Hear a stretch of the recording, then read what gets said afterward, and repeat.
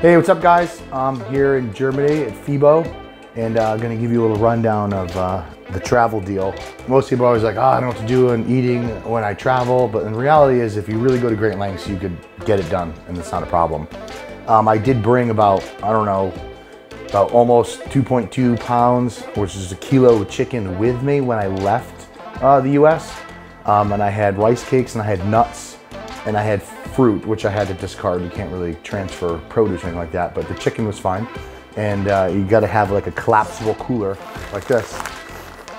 So you go through TSA, this will easily fit in the upper head compartment. And what you do is you don't really bring all your Tupperware containers with all your different meals. You bring like two or three containers.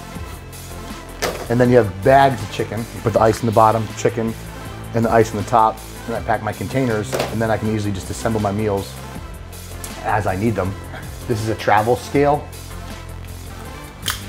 You put in your back pocket, put it anywhere.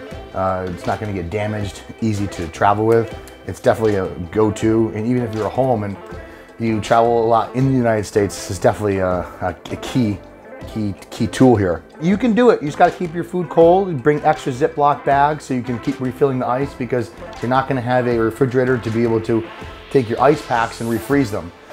So having a Ziploc bag and refilling the ice once you get through TSA, refilling it every periodically every few hours is really the key thing to do.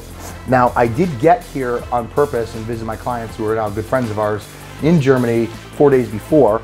so I had enough food to make me, my wife and I through a few days just to like get there and I can cook more food. And I went to the grocery store in Germany, which grocery stores in Germany are unbelievable. The quality of food overall is much better than the US. I mean, the US does have the same quality, but you have to pay a lot more money to get it.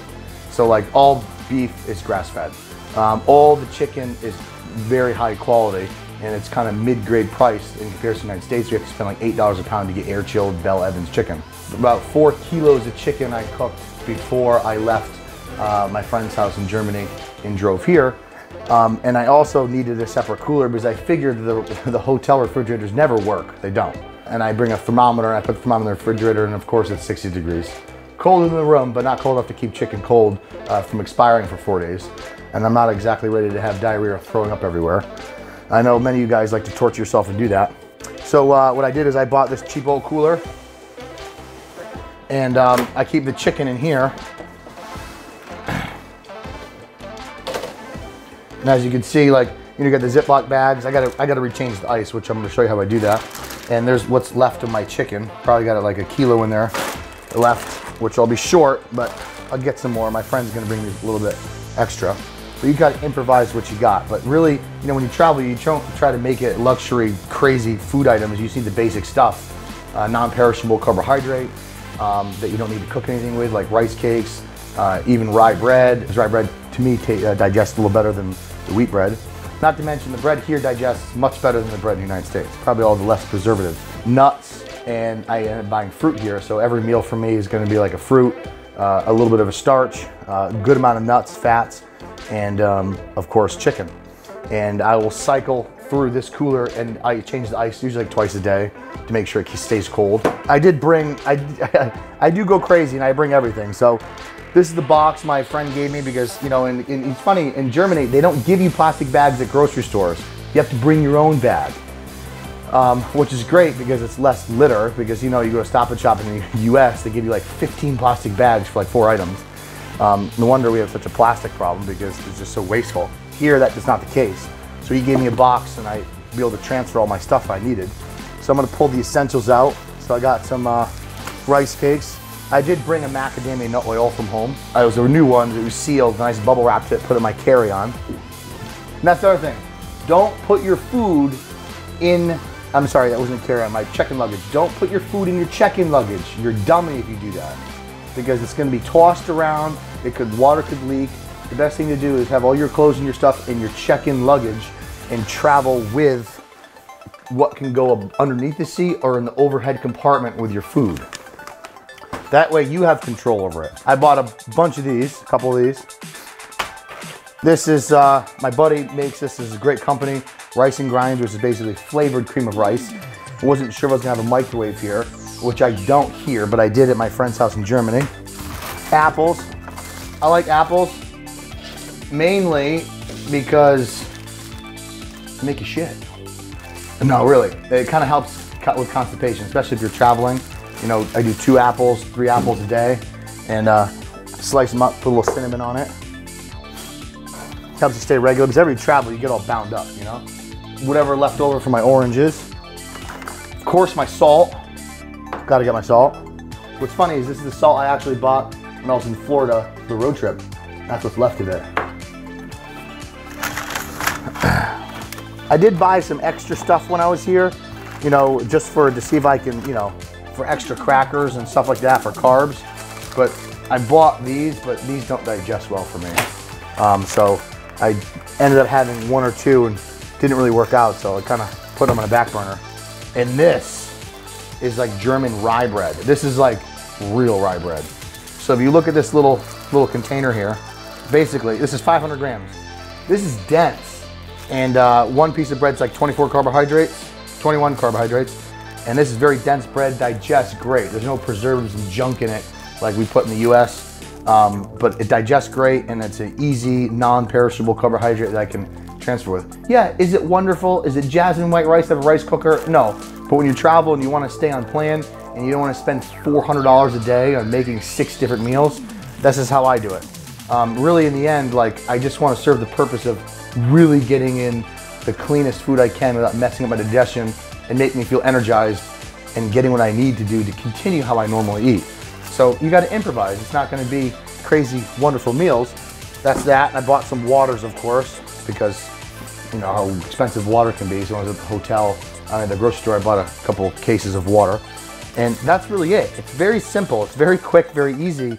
And it doesn't have to be complicated, but you just got to realize that you want to find the bare basics of your meals that you can fundamentally put together that's going to be um, non-perishable and ease the burden and ease your wallet and be able to stay on track. So many people talk to me like they go on vacation and by the time vacation or they travel, by the time they get back, they feel like crap, they're constipated, they're tired, they're jet lagged. And when I travel, that doesn't happen to me at all. Um, and one thing I do is the day I travel long trip, I do zero carb. For whatever reason, when I do zero carb the day I travel in an airplane and I do higher fats, I don't have any jet lag and I don't feel tired, I don't feel sluggish, and I sleep fine that night. You know, a lot of times people travel, they start eating crap, and they travel, and then they feel like crap, then their stomach's digest, messed up, and they're constipated, and then they feel horrible, and it takes three or four days to regulate. So I found that out myself. I actually found out by accident when I was in prep. I always noticed when I was in prep, and I would travel, no matter how length of the flight, I would never be jet lagged or tired. So I'm like, oh, well, maybe it's because it's lower carb. Well, sure enough, it is. So that's the deal. I'm gonna go show you guys now how I recycle the ice. Dude, it's real simple. You know, you go to the you go to the bathtub, drain the water out, walk over the ice machine, refill the bags, pack the ice in there, and always make sure that when you when you're storing the meat, that you put the plastic bag lid up above the ice. So like at night, when it starts to melt and the water level uh, rises, the water doesn't go down into the Ziploc bag and you don't have chicken sitting in water. You only make that mistake once. And the thing is this, it does take work. So don't be lazy. You know, people like, you know, they try to keep a good game, they're good for like the first 12 hours and everything falls apart.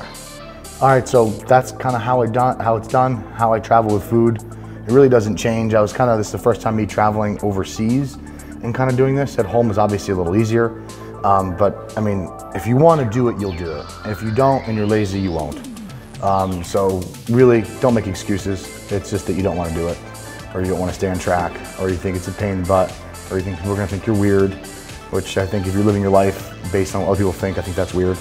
But that's how you do it. It's very simple. I know uh, many people may not come up with the same ideas, but you know you can kind of take these ideas and kind of make them yourself. And obviously, if you're a woman or you're a smaller guy, you don't need to eat as much food. It's going to be much easier, uh, much less to deal with. So that's really how you do it. Just make sure you keep your food cold um, and prepare. And uh, oh yeah, one to mention, one of the things I, one of the reasons why I don't have as much chicken, because I obviously always plan, is we were on the train and the guy started overdosing and people were standing around him while he was gurgling. So I kind of stepped in, put him in a recovery position. We carried him outside, him recovery position. We called the ambulance and my original cooler was on the train still and that took off. So that was four meals of chicken in there, fruit, two forks, containers, um, rice cakes from home, and a couple other things. But so that's gone. That's why I'm a little short in chicken. But my buddy in is going to bail me out. It's good to have buddy, good buddies in everywhere, in all places. So in closing, I must add, my wife is awesome. We travel together, and we're lucky because we both do the same thing. Work from home, and I'm the master at planning for food, and obviously everything I just showed you. And she's the master for keeping my shit together on when I have to be where, and my passports and my tickets and all that stuff. I think really the downside, she likes me to be dependent on her.